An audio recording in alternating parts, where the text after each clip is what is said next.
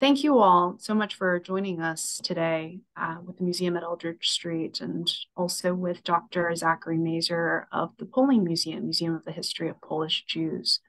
So before I introduce Dr. Mazur, I just want to go over some housekeeping with all of you. You are all currently muted. If you have questions, I invite you to please put them into the chat box and we will answer them during Q&A at the end of the program. Um, what you see on the slide right now, this is an image of the museum at Eldridge Street.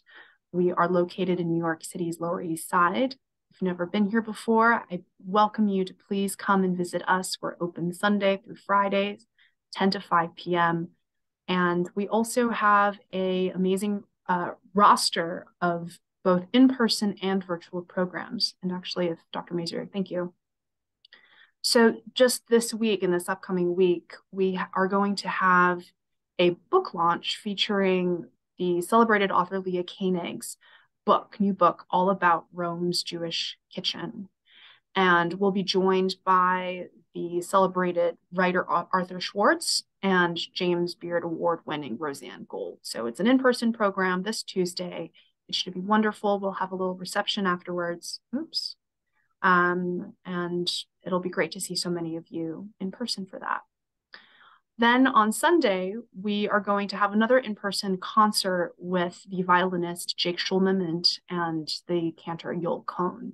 And that should also be an incredibly moving performance. And that's this Sunday, upcoming Sunday, October 22nd at three o'clock.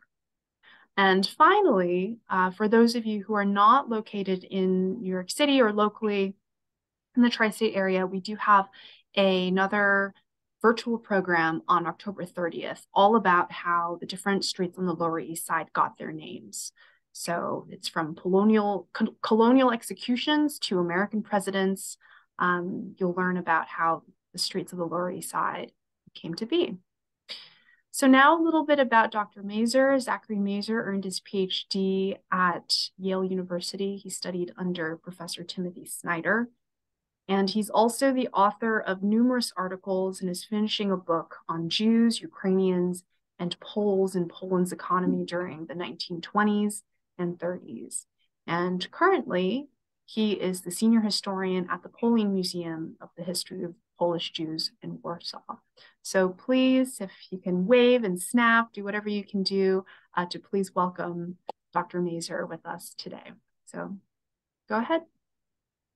Hello, hello. Thank you all, and uh, and thank you, Sophie, uh, for welcoming me here once again uh, with Eldridge. It's great, great to be doing programming with you guys, and uh, so happy to see all of you online here. Um, I want to reiterate what what Sophie said that it's yeah really important in this time that we have this community. So so thank you for for joining us. So we're going to talk about uh, the shtetl today. And I'm sure that many of you know shtetls were were small towns uh, in Eastern Europe. They were, you know, majority Jewish or or largely populated by Jews. And uh, I want to start with just a quick overview of uh, of how and why the Jews ended up in Eastern Europe in the first place, and you know why did they go there? Why did they end up organizing their lives in this form to to create the shtetl? So the first place where we need to start is with a little bit of geography. Uh, what we're looking at here is a map of the, the shtetl land, uh, and this is the, the Polish-Lithuanian Commonwealth um, from the uh, 16th, 17th century.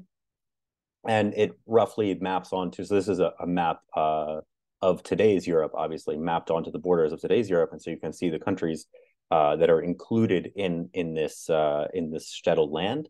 Um, and so why did the Jews end up going to this particular part? Well, many Jews, the Ashkenazi Jews in particular, lived in what is now northern France, western Germany, and they were drawn eastward by um, the the problems. First of all, the problems of the places where they were living. They had they had limited freedoms. Uh, in many cases, they were kicked out of German towns.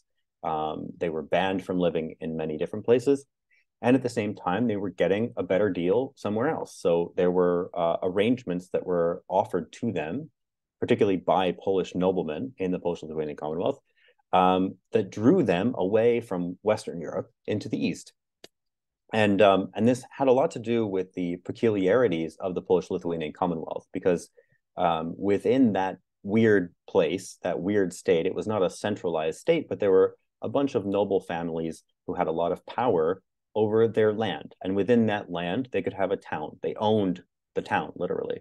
Um, and then, therefore, they could make whatever laws they wanted to within these towns. Um, and so they made arrangements with Jewish communities.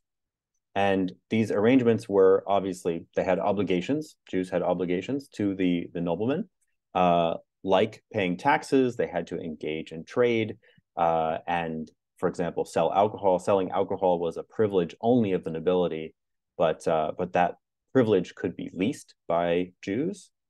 Um, and uh, yeah, so the nobles just benefited from from this arrangement because they basically made the Jews uh, conduct business for them, and uh, and in exchange, the Jews also got benefits. They uh, were most importantly allowed to practice their religion as they pleased. They could print books uh, and they could uh, pursue all kinds of intellectual pursuits that were uh, basically limited or illegal in other European contexts at the time. And for the average shtetl Jew, religious tolerance was uh, was the most important factor drawing them to to the east. And then around uh, the end of the 18th century, the Polish-Lithuanian Commonwealth starts to starts to fall apart and it collapses and uh, and the neighbors take it apart. So Russia, Prussia, and Austria all uh, take chunks out of Poland, um, and this becomes the the period of the the so-called partitions. Uh, and what happens to the Jews at this point? Well, the Jews become subjects of these empires of of Prussia, Austria, and Russia, and it is at this point that Polish Jews essentially become Russian Jews or Austrian Jews, uh, Galicianers, as as they become uh, known later on. Um, but of course, the the language of the shtetl remains Yiddish throughout this period, and their identity is still very much Jewish. So the fact of Polish uh, Poland Lithuania falling apart and the partitions uh, it has less to do with uh, with the identity of Jews and changing sort of their uh, how they see themselves, but uh, but the environment around them changes. The legal environment uh, especially changes. So um, from this period of tolerance, we get we come to a period of intolerance, uh, especially within the Russian Empire. The Russian Empire um, had the most restrictive policy on Jews. There were bans on on settlement outside of towns, uh, and Jews had to stay within the pale of settlement and the Kingdom of Poland. So we're looking at a map now of the the Pale of Settlement um, and and uh, and the Kingdom of Poland, and you can see the uh, the Jewish population here is marked. So we have uh, 1.3 million Jews in in the Kingdom of Poland, 1.4 million in Ukraine, um, another uh, 700,000 in Lithuania, uh, and on and on. So a very a very large uh, portion of of the world's Jewish population was located just in this in this little section of Russia. Um, and at this time, the former Polish owners of the towns, um, they in many cases had their their towns confiscated from them, uh, and Russian owners were were buying them, um, and uh, and they they quite liked them because they had a, a valuable asset. Uh, unlike the serfs, Jews were tax-paying people, so they were quite valuable. And at this time, um, for long periods of time, we could we could see that there was a a key sort of rhythm to the shtetl life. Um, you know, life was was organized around family, religion, professions. Um, each week, obviously, uh, was looking forward to the Shabbat meal on Friday night, uh, and then the market fair on Sunday. And so we have a couple of of photographs here of of uh, market fairs. Um, from this, this is from a, a later period, obviously when we have photography but um but at this point uh it was very much a a hermetically uh sealed jewish world. There were of course contacts with uh with people outside of the of the jewish community um and these would happen like at the market um in other business transactions or in taverns and inns. Uh, there were there were times when when people would be uh, interacting with with other with Christians uh, with other groups, um, but uh, but for the most part, it's very much a, a Jewish world. Um, then when we come up to the, the 19th century, uh, this is when the, the shtetl uh, starts to enter a phase of transition. Um, there was a brief golden age right as the, the Russians took over this formerly Polish land. Uh, there was some stability uh, within this new, new arrangement, and then a steady decline uh, starting from the middle of the 19th century. So why did the shtetl, the shtetl start to decline? If we take our hints from Fiddler on the Roof, then we might think that it's anti-Semitism that drove people out of these towns. They, uh, you know, feared for their safety and therefore started to leave. Um, but the truth is that uh, these the decline of these towns began long before pogroms uh, threatened anybody. So um, there's a, a, a, much larger uh, economic transition that was underway during the 19th century. And of course, this is a global phenomenon of industrialization. Uh, but for the Jewish community, uh, this had a huge impact on, on their lives because Jews had, in many cases, they were involved in crafts. They were shoemakers, tailors, blacksmiths. Um, and with the advent of industrialization, their jobs were being replaced by industrial goods. Um, so factory produced shoes and clothes and tools could be provided much more more cheaply and directly to to the customer. And um, on this uh, photograph here, we have a, a picture of a, a, huge textile factory that was in Łódź. Łódź is a city uh, west of Warsaw. This particular factory was owned by Israel Poznański. He was a, a Jewish industrialist um, but he also employed masses of of Jewish laborers. So um, the the factory and and all and the city in general, which was a, a very a kind of boom town for uh, textile manufacturing, um, it was a, a, sign of the transition out of the shtetls and into the cities. So people were moving not necessarily to the United States right away, but uh, in many cases, people were transitioning to just a larger city uh, close by, looking for work because the these uh, traditional shtetl relationships and and uh, economic relationships that existed for centuries had completely fallen apart by the middle of the 19th century. Um, and another huge factor here was the advent of the railway. Uh, no surprise that uh, the railway affected how how people were um, interacting with the world. So they could obviously travel, uh, but it also meant the import of goods and uh, and here we have a map of the growing rail network within the Russian Empire, uh, which was a late bloomer in terms of um, you know comparing to to say Great Britain or Germany or the United States. Um, but the the rail network was especially dense around the Pale of Settlement, and and so this had a huge impact on uh, on Jewish life at this time. Um, and so shtetls sort of become like the Rust Belt uh, that we can see in other in other contexts. Um, some of these towns were were completely emptied out by the 19th century, by the end of the 19th century rather. Um, and so uh, we can see, for example, uh, within our own family stories, I'm sure that you could you could trace these within your own uh, genealogies. Um, but uh, in my family, for example, the uh, the family moved from Krasnik, which was the the shtetl. They then went on to Warsaw, and from Warsaw, eventually they moved to the United States.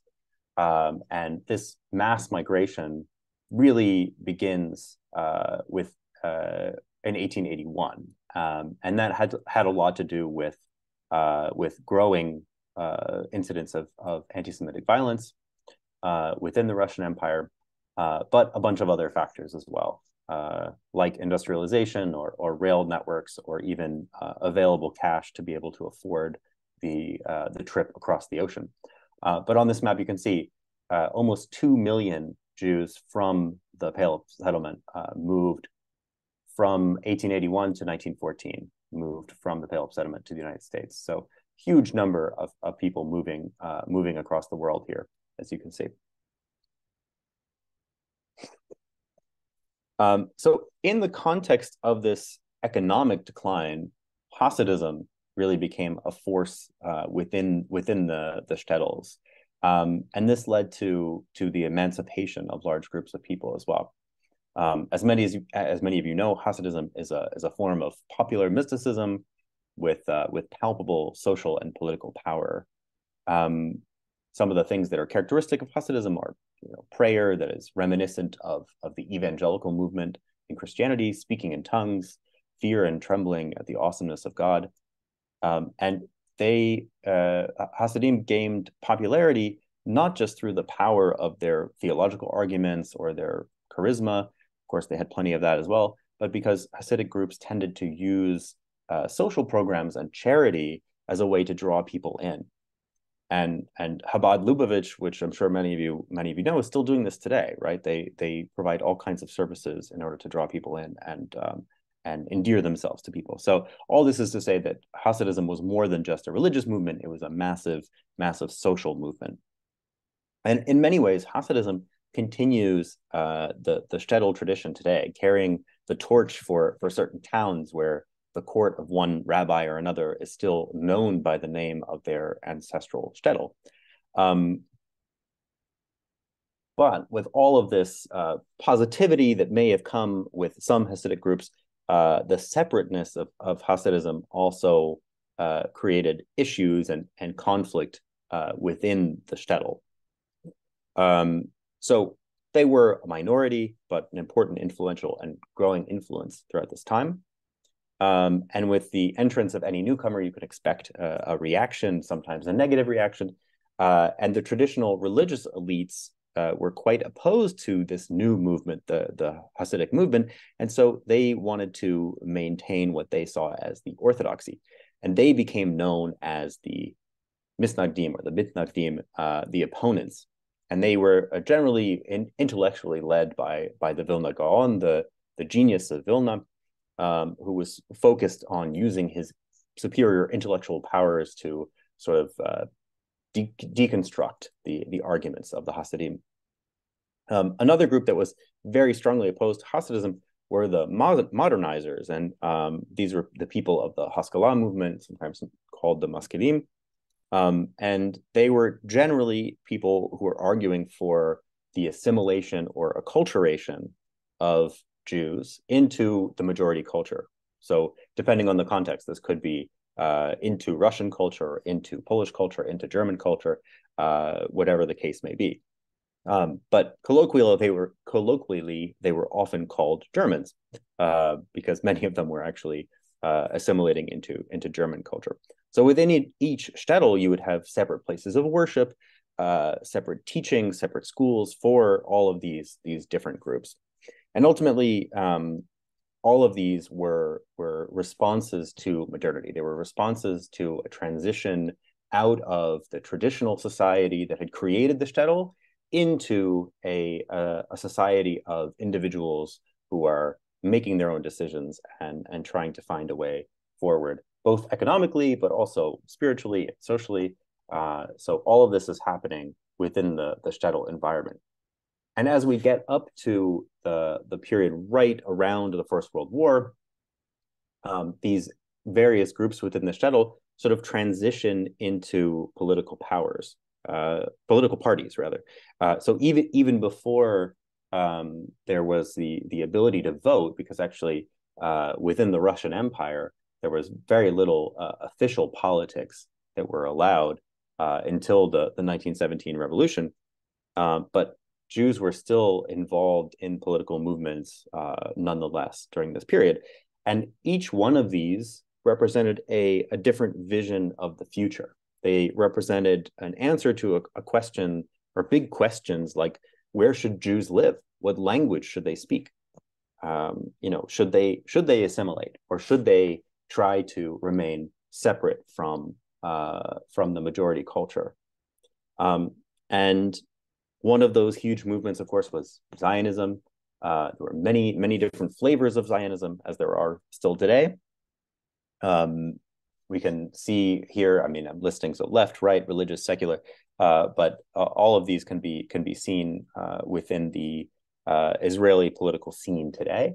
Um, and Zionists, of course, were arguing that uh, that Jews should go somewhere else. They should leave Europe and uh, and have a state of their own, have a, a land of their own, um, and and leave Europe behind.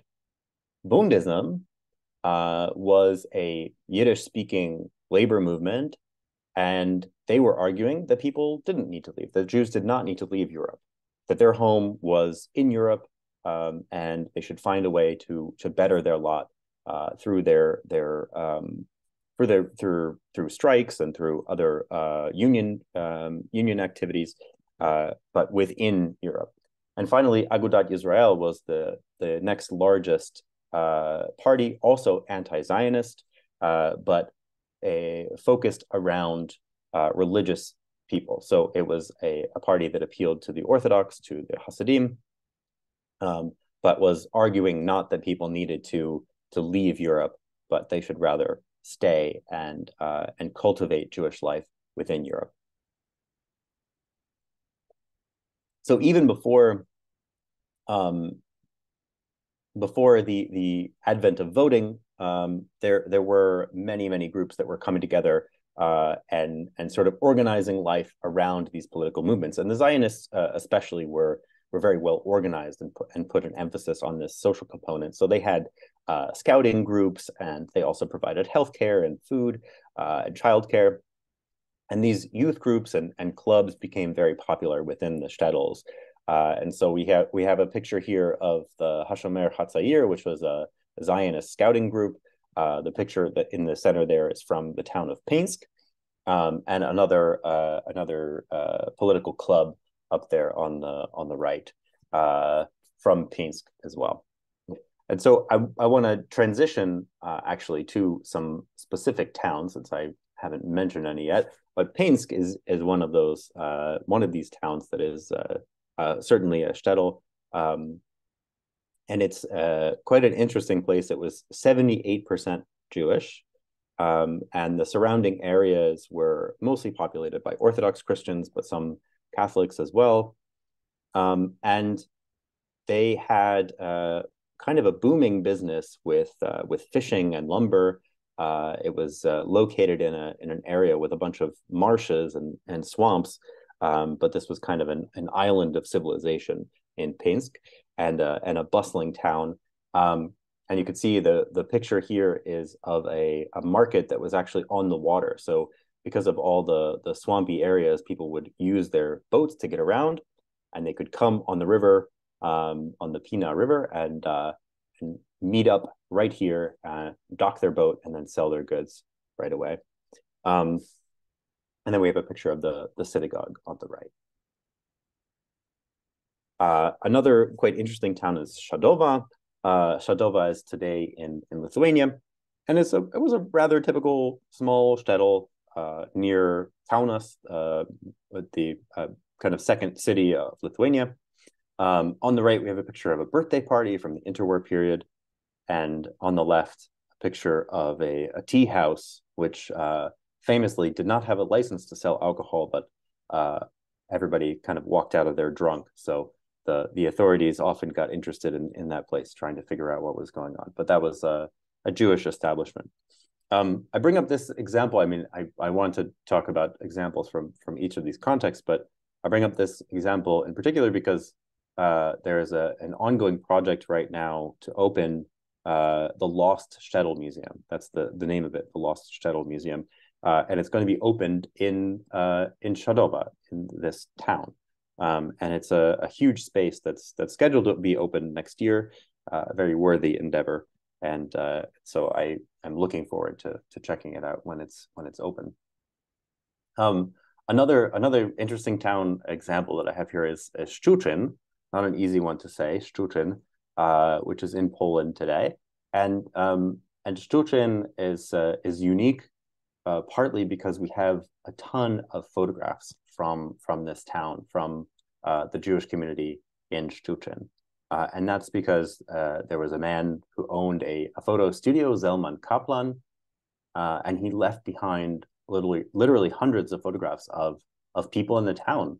And these are just lovely scenes of of everyday life in the shtetl Um, and it's uh, it's quite a quite a treasure to be able to to look at these. And um, another another example uh, of a, a shtetl would be Drohobych. Drohobych is today in Ukraine.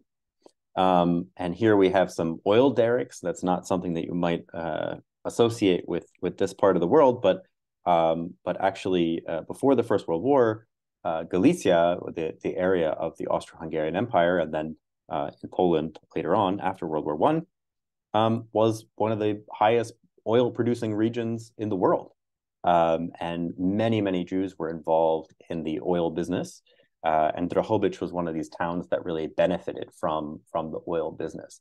And so as a result, it became kind of a, a cultural hub because of its wealth. Um, and in that, in that way, it's kind of an exception to the many other shtetl towns where as the world was modernizing, the shtetl sort of fell backwards. But in this case, uh, as the world was modernizing and got interested in oil, then um, then Drohobych did did quite well.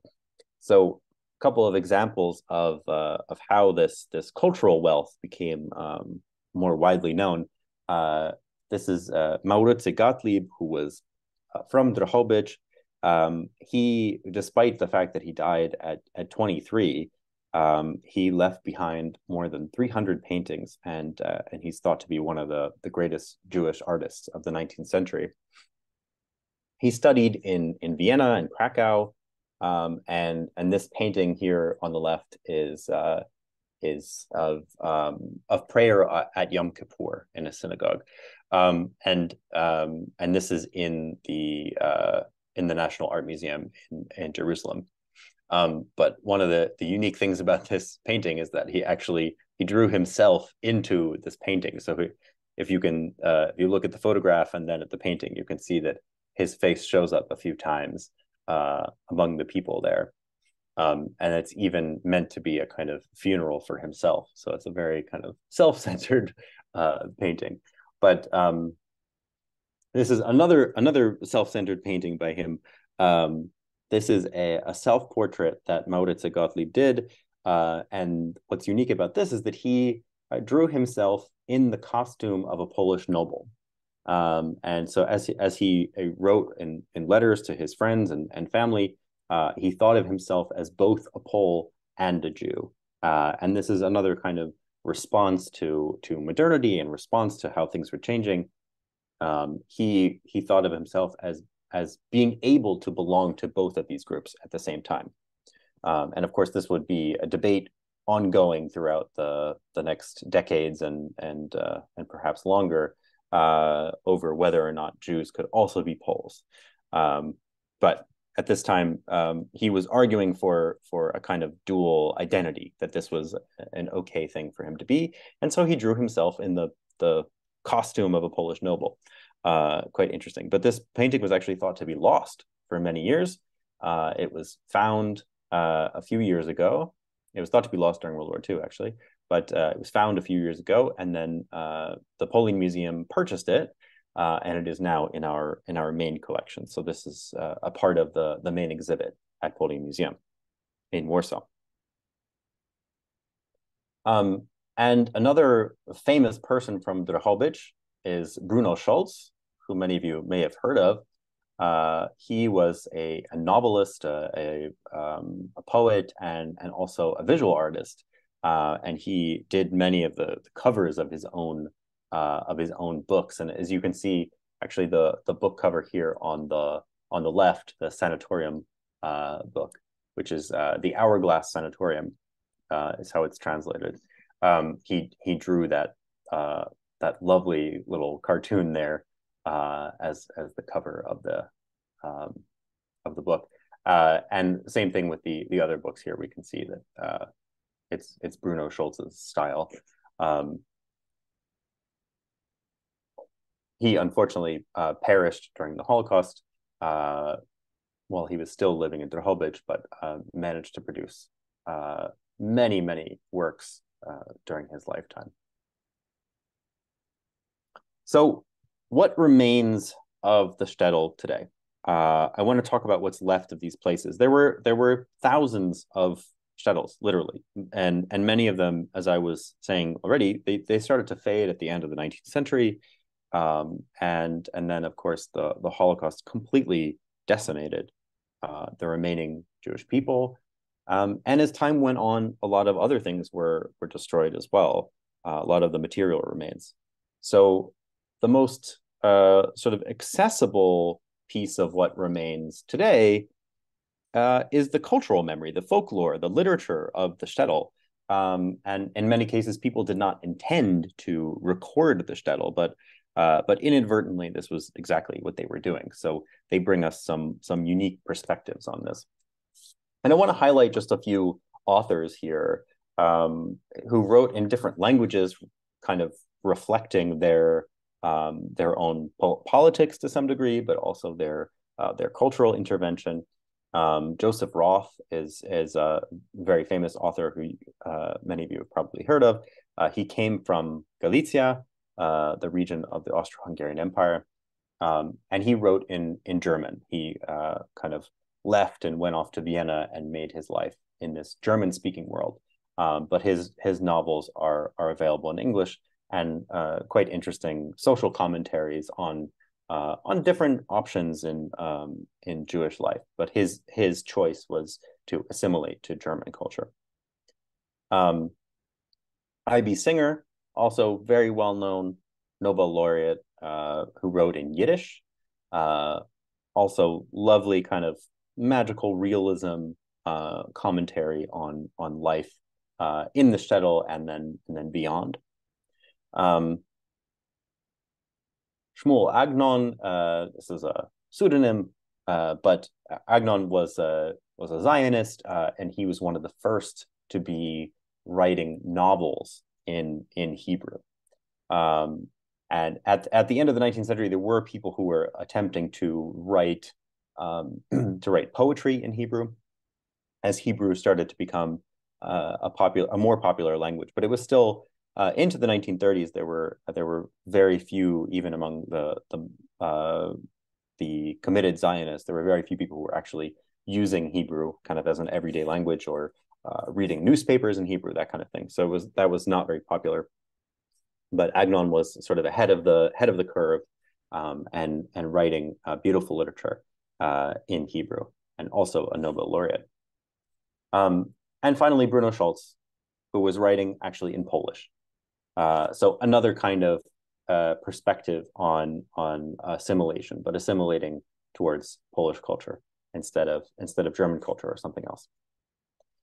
Um, another another way in which uh, memory has been preserved um, is through Yizkor books. Uh, Yizkor books are are something that maybe many of you have heard of. Um, these are memorial books, is sort of the literal uh, translation of it. Um, and uh, in many cases, uh, there were survivors of the Holocaust or emigrants from from the shtetls who uh, gathered their stories and recollections from um, from themselves, but also they try to to uh, amass all this information about their town and recreate it in a way. Um, and this came out of the Landsmannschaften movement. So these were uh, mutual aid societies that were generally uh, organized around a particular town. And out of these organizations grew the Yizkor books to preserve the, the memory uh, of those towns. Um, and they started to be produced during the war. So the first one was was put together in 1943, uh, and then they continued to grow on until until the 1970s, uh, with a huge boom right after the war.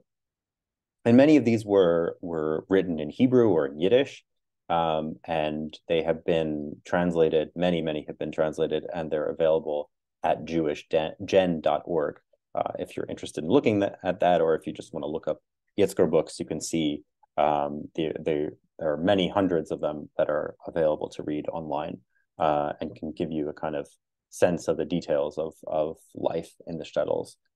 Um, and at the bottom there, there are two paintings. Uh, these are by Józef Charyton. He was uh, a Polish man who who lived in in one of these shtetls. Um, and after the war, he in the 1970s actually he started to uh, to have nightmares uh, with the faces of his former Jewish neighbors. And he said that they, these faces were haunting him so that he, he felt this urge to paint them. He was a self-taught artist, but he started to, to put these things down. Um, and, and he tried to, um, as he said, he tried to paint as many faces as possible until, until the voices stopped, which at one point he claimed that they, they did stop. So, um, and of course, there are material remains. There are thousands of cemeteries, hundreds of synagogues, midrash and yeshivas, homes, other property, and, and stolen or, or abandoned movable items. Um, and for the most part, so these physical remnants of Jewish communities and heritage, they were horribly neglected during the, the communist period, um, and as were most things, to be honest. But uh, but many many cemeteries and yeshiva and synagogues they they still remain with us. Um, and uh, if you are interested, you can check out uh, Polin Museum's uh, website, Virtual Shtetl. Uh, there you can find all kinds of information about specific towns and uh, kind of go through. There's plenty of pictures and, and basic information about, about each town. But in general, I just want to say that um, you know the cemeteries have been abandoned um, for for many years for obvious reasons, right? People who who would take care of these things traditionally would be the families. The families are not here because of the Holocaust. Um, so uh, many of them have been have been abandoned. But the last 20 years has seen really intense interest in them from local activists who are now being supported by a growing number of, of foundations and, and organizations, um, including including getting a ton of uh, a ton of money from the Polish government to restore cemeteries. Um, and these cemeteries are are truly impressive. I mean, some of them are just magnificent, and and the you know the massive cemetery in Warsaw, the Okopowa Cemetery, um, with uh, I think it's about two hundred fifty thousand graves. It really just can give you a sense of the size of that Jewish community uh, that cannot be represented in any other way. Um, and so uh, it's it's been great to see that there has been so much interest in uh, in trying to restore these cemeteries and and bring back interest to them, bring people to respect them. Uh, and Polin Museum has been also working to uh, to reward those people and support them. Um, and there's a, a, an award given each year uh, to activists for their work in preserving or promoting Jewish heritage in Poland. Um, and these are all just local volunteers. So in many cases, uh, the, the story that you often hear is that somebody in their town realizes that there's a cemetery that's been abandoned that that no one has been taking care of um, and they you know start to ask themselves why and then they keep on digging and digging and digging and then they, they feel like so attached to this thing that they must must must do something about it um, and they you know find funding and they find uh, other volunteers and supporters so uh, it's been it's been really uh, a great thing to see that there's so much uh, interest in taking care of these cemeteries now. Um, and finally, I just want to mention there are still many beautiful synagogues. Uh, some have fallen into disrepair, um, but there are also a number of them that have been very, very well cared for uh, and and lovingly restored. So um, this is uh, Łańcut Synagogue in southeastern Poland uh, a, a, popular spot among tourists. Um, and this one has been has been well preserved. It's a, it's a museum now uh, that is run by the uh, the Foundation for the Preservation of, of Jewish Heritage. Um, and Tykocin's uh, synagogue is also a museum. Uh, this one is a regional museum, um, and this is a, a, also a very popular spot with with tourists. This is in uh, northeastern Poland, so northeast of Warsaw um, and Włodawa Synagogue, also uh, northeast of Warsaw. Um, but really, just just magnificent buildings, and it's um, it's great to see that uh, that they're being cared for now. Uh, that there's so much interest in in caring for them. Uh, look forward to your questions, and thanks. Thank you so much, Dr. Mazur. Yes, if everyone has questions, please put them in the chat box, and we will answer them shortly. Uh, we do have one question. Someone said, Thank you for the insightful talk. We have plans to visit Poland in January. Can you tell us about what exhibitions are going to be on view at the Polin Museum? Sure. I mean, so we have our uh, main exhibition, which is enormous, and uh, it covers a thousand years of, of Jewish history in Poland. Um, and it's uh, yeah, that's that's plenty. There there is a temporary exhibition um, on, I think that in January you might miss what we have now. But uh, the temporary exhibition that's uh, on display right now is about the Warsaw Ghetto Uprising. Um, and our next exhibition, our next uh, temporary exhibition will actually be about shtetls. So it'll be about uh, the art um, that was produced in um, in remembering the shtetl, and then also uh, about shtetl life more generally. Thank you. And then someone also asked, you mentioned something about the Lost Shtetl being a museum that's opening next year. Can you tell us a little bit more about what this is? Yeah, so the Lost Shtetl Museum is going to be opening in Lithuania. They uh, supposedly they said that it was going to open this year, but I think that it's going to open next year.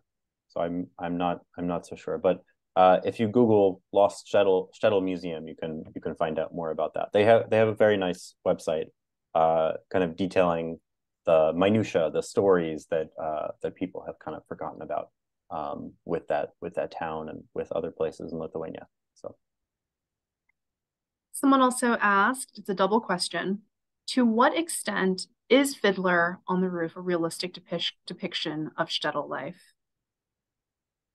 Um, not really.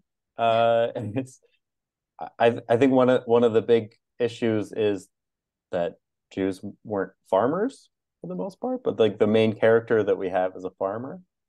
Um, and uh, I I mean to to some degree, of course, it it um, it kind of you know it shows in a cartoony way the the social outlay of the of the town. Um, and you know we have the socialist character and we have uh, the tailor and all that kind of stuff, but um, but it's a yeah it's it's a caricature it's not it's not a, a very good representation of of shtetl life there there mm-hmm. also isn't very much about the religious disputes which were so uh so important in uh in shtetl life and kind of dividing people that way this person also asked uh, if you could recommend any books for advanced college graduates and high school students on the shtetl or shtetl life Oh boy, it's it's tough. Um, there is so there is a book by Johann Petrovsky Stern, um, the name of which is is escaping me right now. It might be called The Golden Age Shtetl. Uh, that's that's a, a book particularly about shtetls in Ukraine.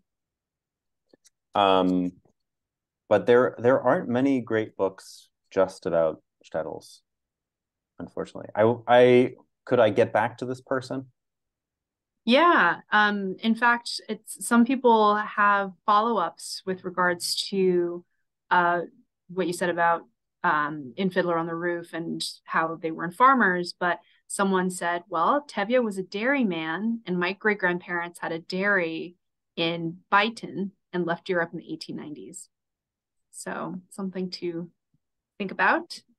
Um, and another one asked if you could talk a little bit more about daily life in the shtetl, particularly the role of women.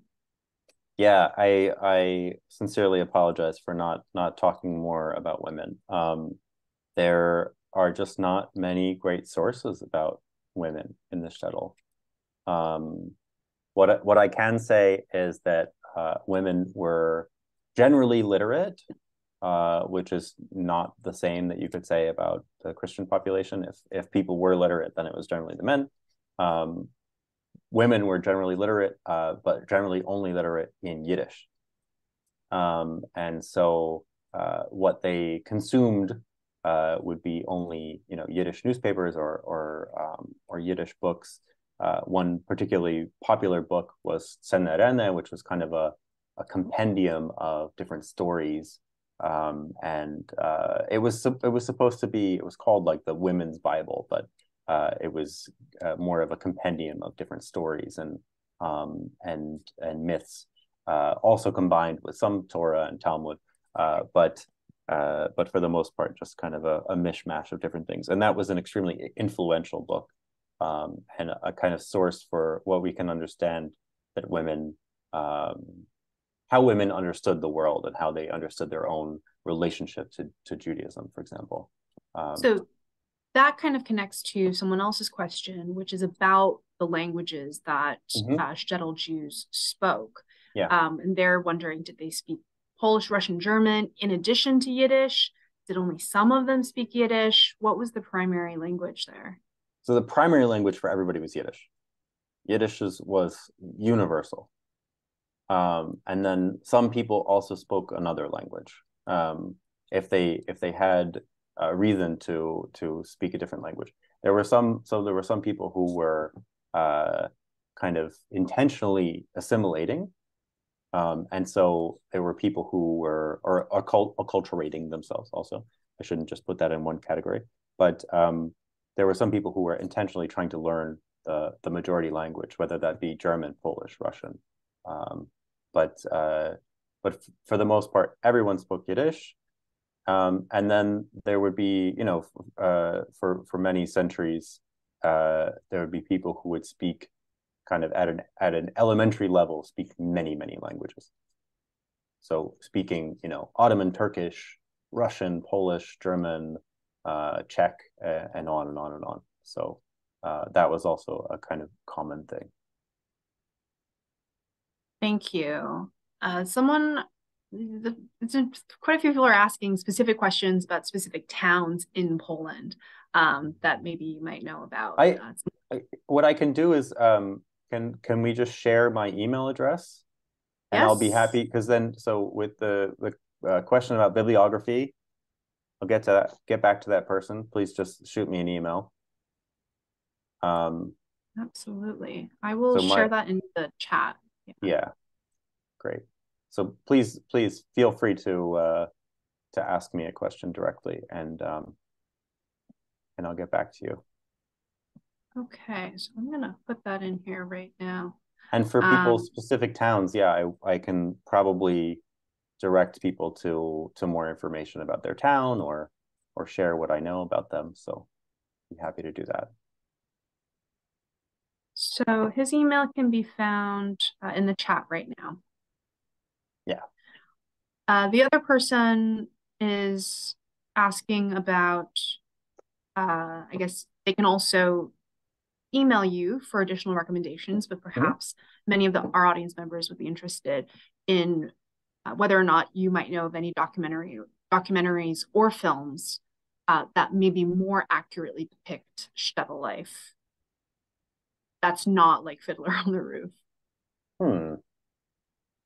And this is this is particularly for a teaching context too. Yeah, yeah. There are some. So um, during the 1920s and 30s in Poland, there were many Yiddish language films, um, and those might be those might be interesting. I would have to look back and see um, the titles again one so one thing that's very popular that I'm sure that many people have heard of is Dybbuk. Uh, it's been uh, you know put on as a play a hundred times or a thousand times, um, and then it was also made into a movie. I think three or four times it was made into a movie uh, during the 20s and 30s. Um, but that's that's also just kind of a, a fun window and could be a good teaching tool as well. It's also mm. just super interesting to watch Yiddish film. Um, this person says that they they love the film Laughing in Darkness. Have you seen that? Oh, I I don't know that one. I will have to look it up. Okay. Cool. Uh, I guess we have time for another question or two. Um, someone said thank you for your wonderful presentation and your generosity okay. and sharing your email for our specific questions. So happy to do it. Yeah. Um, let's see, did I miss anyone's questions? Someone had a specific question. Someone said, do you have any information about the town of, and I'm going to butcher this word, Beach, B-I-E-C-Z in Poland. C-Z. Biecz? I don't, I don't know that one. It's where this person's father uh, came from in 1929. Well, uh, happy to to look it up and see what I can find for you. And then another final question. At the Polin Museum, are there any programs for high school students, internships, summer programs? Yes, we do. So we um, we do internships, and um, there are often uh, we often actually have uh, an intern for the summer from the U.S. So if somebody is interested right. in this person that, said, "Can, can you tell I'm a teacher?" And... I can't. Yeah. Uh, someone actually has a recommendation for uh, another documentary called oh, Three Minutes in Poland, mm-hmm. documentary mm-hmm. and book by Glenn Kurtz. And if folks are interested in finding Yiddish films, do you have any tips or resources on how to find that? There are a ton on YouTube. So if if you, I mean, if you can find a, a list of Yiddish films, which is not hard to find, um, if you find a, a list of Yiddish films online, you can look at look them up on YouTube, and uh, there are many Yiddish films with English subtitles. Uh, so those those could be a great teaching tool as well. I think YIVO might also be a really great resource. They might know of um, a lot of additional uh, sites and lists of Yiddish films and books as well. Yes. So yeah, YIVO so Encyclopedia, YIVO. for example, would be a good place to start. Yeah. To look at that, yeah.